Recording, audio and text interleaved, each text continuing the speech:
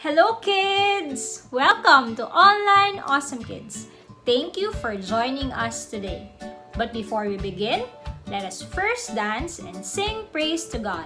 Now together, let's do the sign of the cross in the name of the Father, and of the Son, and of the Holy Spirit. Amen.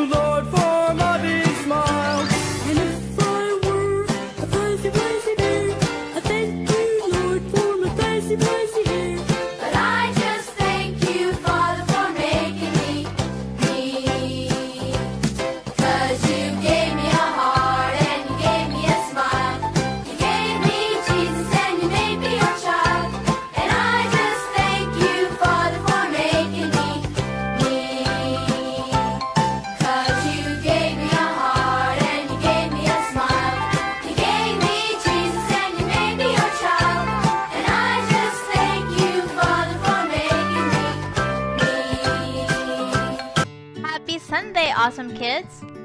This Sunday, we are starting a brand new series on the book of Genesis. But before that, let's review our last lesson.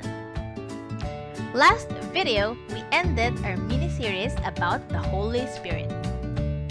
We learned that trusting God means following Jesus and obeying what God wants for our life.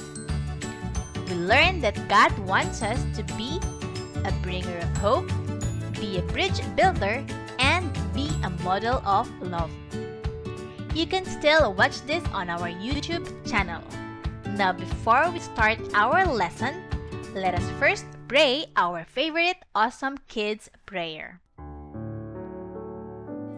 Father, the Son, Holy Spirit, Amen. Jesus, I love you. Keep me close to you. Want to please you,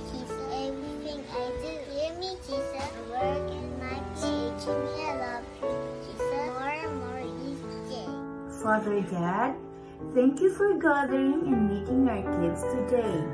Send your Holy Spirit as we honor and celebrate your goodness inside our homes. Bless our activity today, today, Lord. Open our minds and hearts. Use us, Lord, to bring the light of Jesus to others. All this we ask in Jesus' name. Amen. In the name of the Father, and of the Son, and of the Holy Spirit. Amen. Now, kids, enjoy your lesson.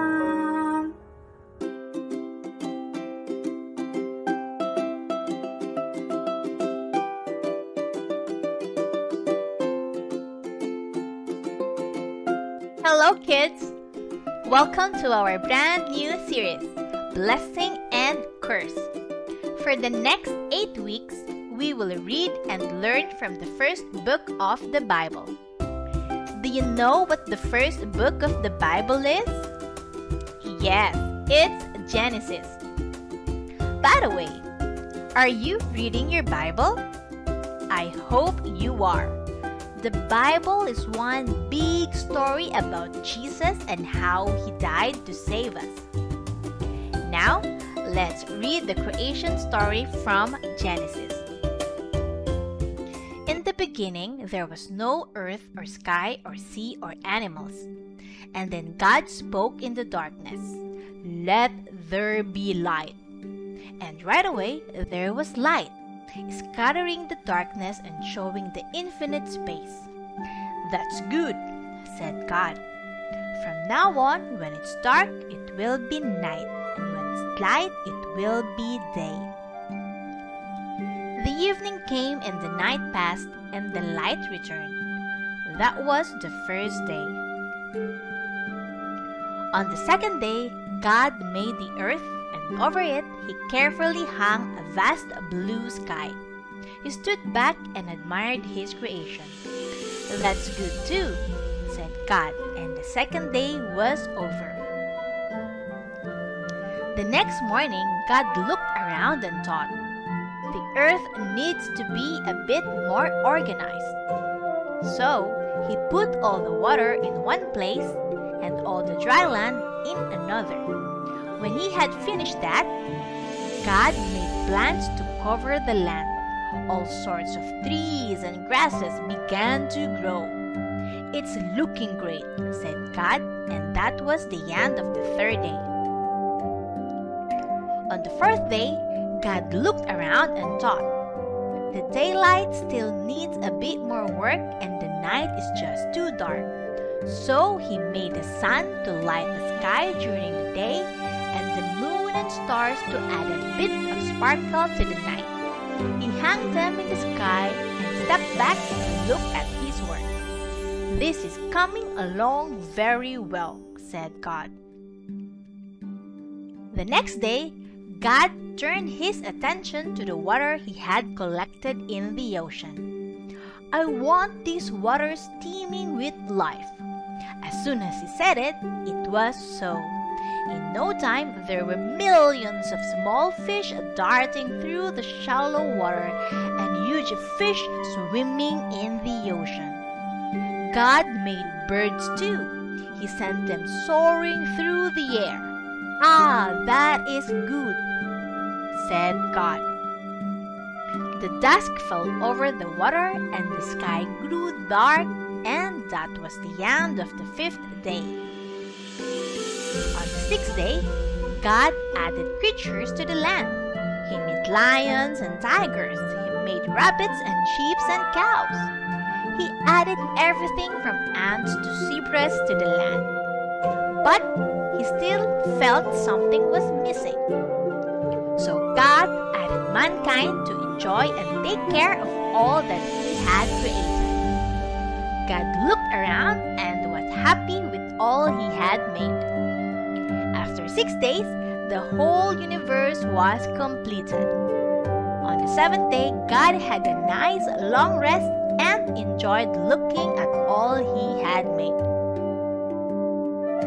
Wow, what an amazing and powerful God we have! He fills the world with everything, and then He made us, mankind, to be His kings and queens on earth.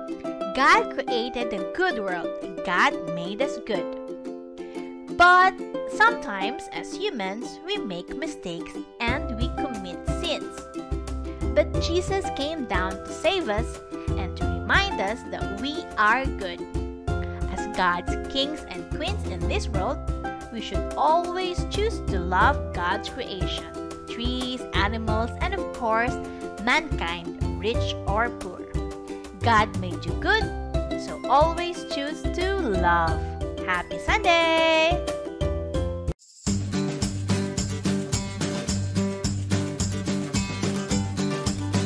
Hello kids! Today we'll learn about the creation story. Now let's make Days of Creation craft. Let's gather the materials that we will need. Cardstock, yarn, glue, hole punch, markers, coloring materials. Let's start. Draw 8 circles of the same size. in each circle, draw each day of creation.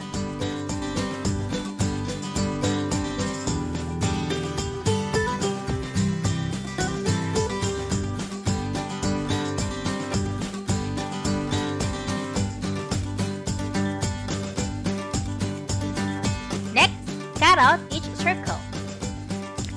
Color each day of creation. Ask your parents or guardians to help you. Then, fold each circle in half.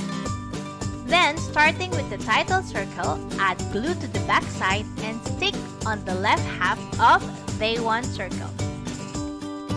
Repeat the steps until you have used up all the circles. Then, tie a yarn for hanging. Your craft ball is complete. Share with us what you've made by taking a photo or video and post this in the comment section of our Facebook page. See you next Sunday! Hi kids! We hope you like our video. Before we end, let us pray. In the name of the Father, and of the Son, and of the Holy Spirit. Amen. Lord, thank you for always protecting our family. Keep our family united in loving and praying for other families too. Protect also all the doctors, nurses, and all frontliners. Keep them safe so that they may continue saving lives. We also pray for the continuous healing of our world. We ask all of this in Jesus' mighty name through the intercession of Mary, our Mother. Amen. The name of the Father, and of the Son, and of the Holy Spirit. Amen. Bye! We miss you. Stay safe and See you next Sunday!